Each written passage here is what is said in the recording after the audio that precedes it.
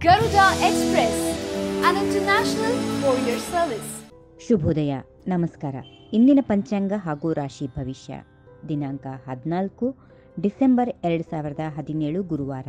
ಸೂರ್ಯೋದಯ ಬೆಳಗ್ಗೆ ಆರು ಗಂಟೆ ಮೂವತ್ತ್ಮೂರು ನಿಮಿಷಗಳಿಗೆ ಸೂರ್ಯ ಅಸ್ತ ಸಂಜೆ ಐದು ಐವತ್ತಾರಕ್ಕೆ, ಚಂದ್ರ ಅಸ್ತ ಮಧ್ಯಾಹ್ನ ಮೂರು ಗಂಟೆ ಹದಿನಾಲ್ಕು ನಿಮಿಷಗಳಿಗೆ, ಚಂದ್ರ ಉದಯ ರಾತ್ರಿ ಮೂರು ಗಂಟೆ ಐವತ್ತೊಂಬತ್ತು ನಿಮಿಷಕ್ಕೆ. ಹೇವಿಳಂಬಿ ನಾಮ ಸಂವತ್ಸರ, ದಕ್ಷಿಣಾಯಣ, ಹೇಮಂತ ಋತು, ಮಾರ್ಗಶಿರ ಮಾಸ, ಕೃಷ್ಣ ಪಕ್ಷ ತಿಥಿ, ದ್ವಾದಶಿ, ನಕ್ಷತ್ರ, ಸ್ವಾತಿ ಇನ್ನು ಗುರುವಾರದ ರಾಶಿ ಭವಿಷ್ಯ ಈ ರೀತಿಯಾಗಿದೆ. ಮೊದಲನೇದಾಗಿ ಮೇಷರಾಶಿಯನ್ನು ನೋಡೋಣ. ಮೇಷರಾಶಿಯಲ್ಲಿರುವವರಿಗೆ ಇಂದು ಉದ್ಯೋಗಿಗಳಿಗೆ ಅಧಿಕಾರಿಗಳಿಂದ ಲಾಭದಾಯಕವಾಗಿರುತ್ತದೆ. ಅಷ್ಟೇ ಅಲ್ಲದೆ ವಿದ್ಯಾರ್ಥಿಗಳಿಗೆ ಶುಭ ದಿನವಾಗಿದೆ.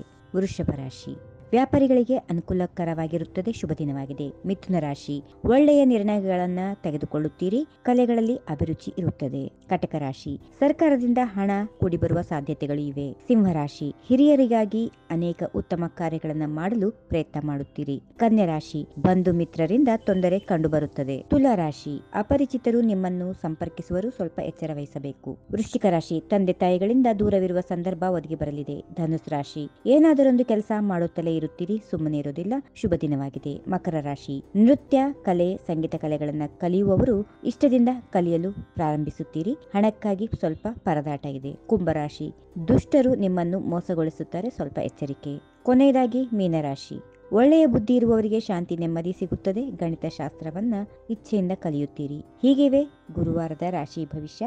ಸರ್ವರಿಗೂ ಶುಭವಾಗಲಿ. ಶುಭ ದಿನ. ಸರ್ವೇ ಜನ ಸುಖಿನೋ ಭವಂತು. If you like this video ಬೇಗ ಲೈಕ್ ಮಾಡಿ ಕಾಮೆಂಟ್ ಮಾಡಿ ಶೇರ್ ಮಾಡಿ ಹಾಗೂ ಯೋಯೋ ಟಿವಿ ಕನ್ನಡವನ್ನು ಸಬ್ಸ್ಕ್ರೈಬ್ ಮಾಡಿ.